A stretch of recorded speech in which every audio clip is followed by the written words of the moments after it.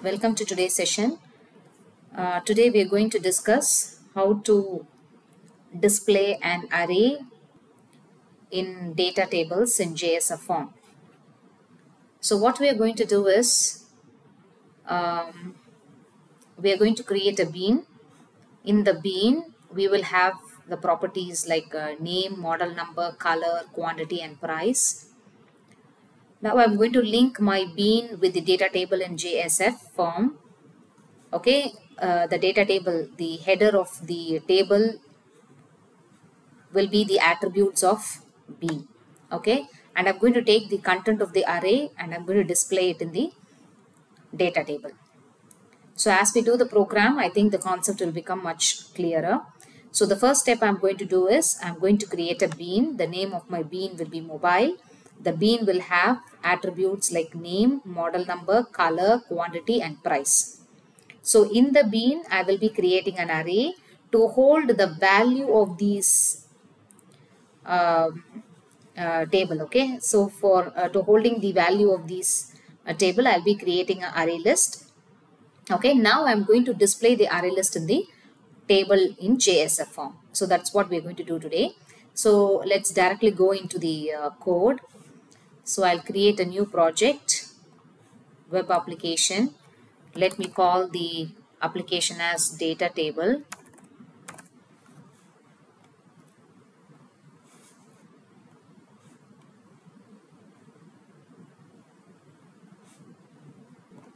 So you can see the project is created here. By default, it is having a HTML page. So let me delete it and create a new JSF page. So let me call the page as index page.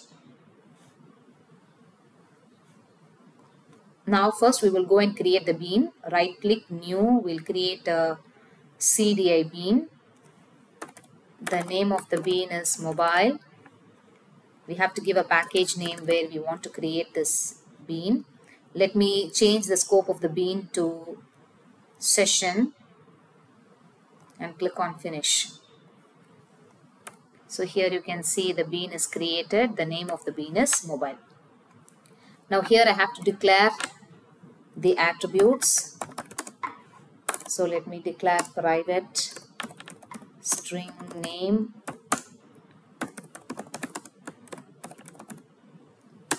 string model number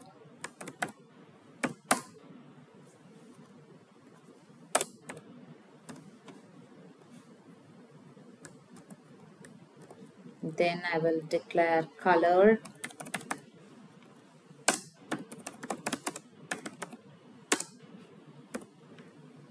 Quantity.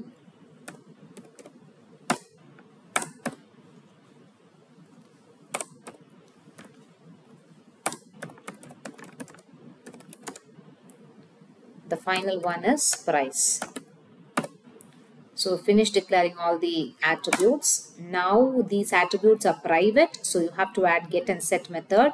So insert code, getter and setter for all the attributes. So finish. Now uh, we have to assign values, right? We have to uh, put the value of this table. So I will be creating object for mobile class. So if you want to create object for mobile class and assign value for these attributes, you need a constructor. See now here you have a default constructor. So you do not have a constructor to assign value for all these attributes. So I'll be creating another constructor.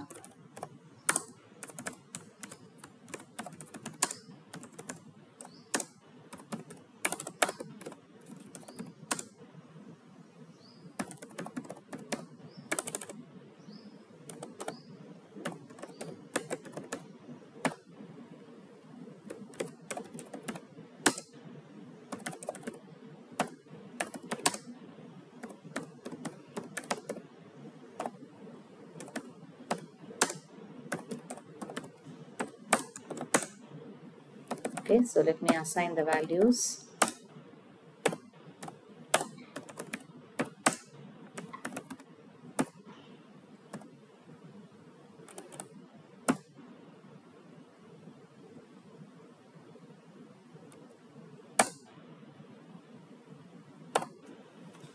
Here this is model number.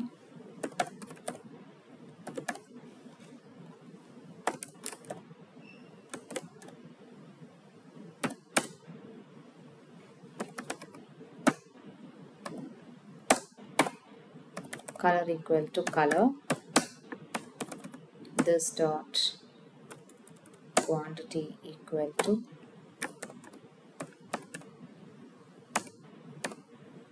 quantity. Then this dot price equal to price. So finish creating the constructor. So now I'm going to create the rows okay so how I'm going to create the rows is, will be I will be creating object that's all. So private the name of the class is mobile I'll create the first object new mobile okay. So let me give the values. So first name is the company name Nokia and this is the model number then the color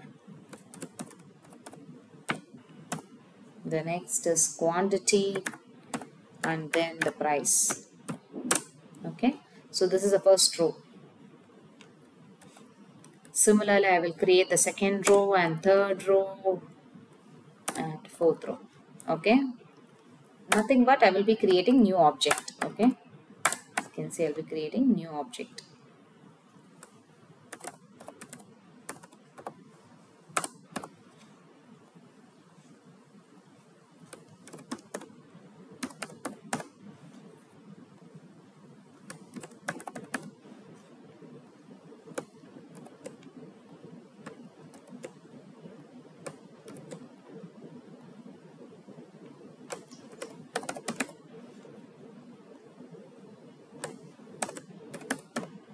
okay done.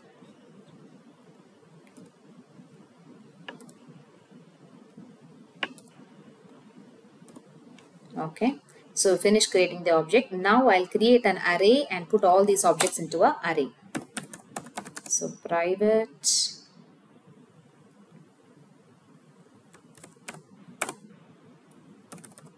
array list okay let the list of the array array list be arr okay? New array list. So i'm creating a new array list. Now we have to specify what type of array list it is. So we have to write here the type of array list is mobile.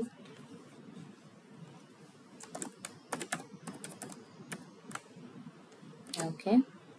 Now click and add the import the class for array list here you can directly add these objects inside the array list M2, M3 and M4.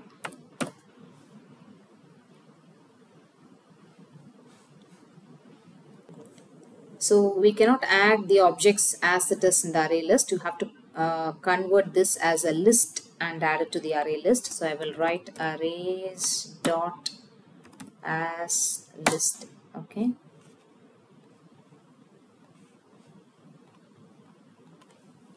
Okay.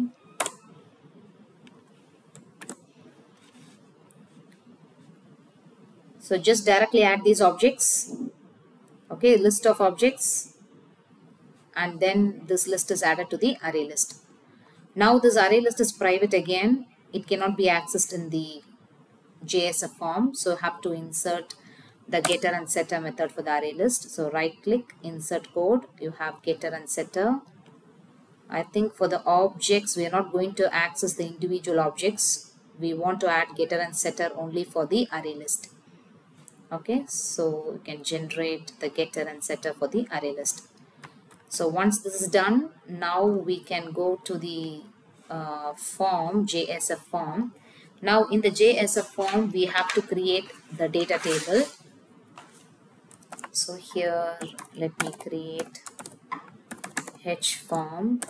Inside the form I'll create data table okay? So now what will be the value of your data table? The array list okay? The array list is inside the bean. So you have to write the bean name the bean name dot the name of the array list. See the name of the array list is arr so just select the name of the array list okay? Now the array list is not having one object, it is having four objects. So you have to, uh, uh, it's like a iteration, it's like a for loop. Okay, so we will create a variable here and call each row as uh, mobile or I will call each row as M. Okay, and let me create a border for my table border to okay okay now inside my data table so the value of your data table is the array list and array list is having multiple objects it's having m1 m2 m3 and m4 okay so i call each one as m each row as uh, i call each row as m okay now what will be the column of my data set? Okay, so I have to define the column. That is the header of my table. The columns of my table. So I have to write it in column.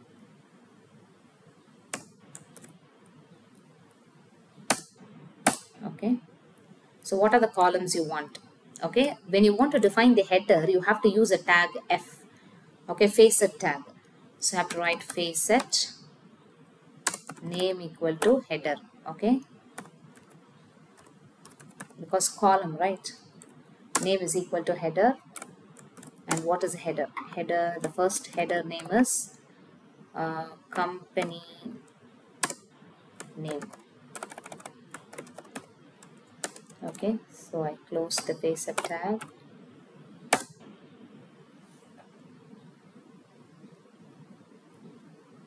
Okay.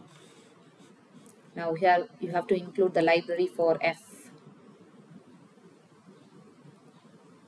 Okay. So this is your first column. Okay the first column the header is company name. Now what value you want to print inside just take the array list okay? Mobile this is your name of your uh, bean dot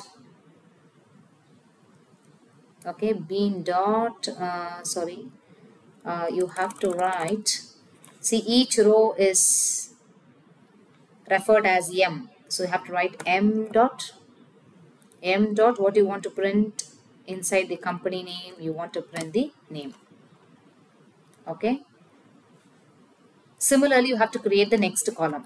So what will be your next column? The next column will be model number. Sorry next column will be model number.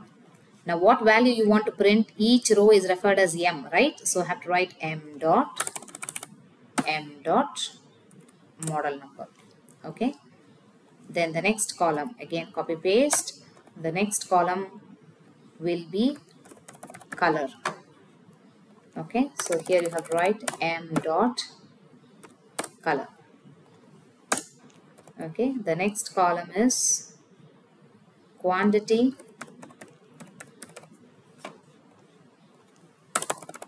okay write m dot quantity again the next column is price m dot price okay? So we finished creating all the columns. Now it's ready to run. Okay now let's run the code. And this is the output. So here you can see the array is displayed in the data table. Okay so you can see the these are the column names and this is the array list that we have created that array list is displayed inside the uh, data table. Okay? Uh, the very important thing uh, the array list should be declared as static. Okay? So that's it for today's session. Thank you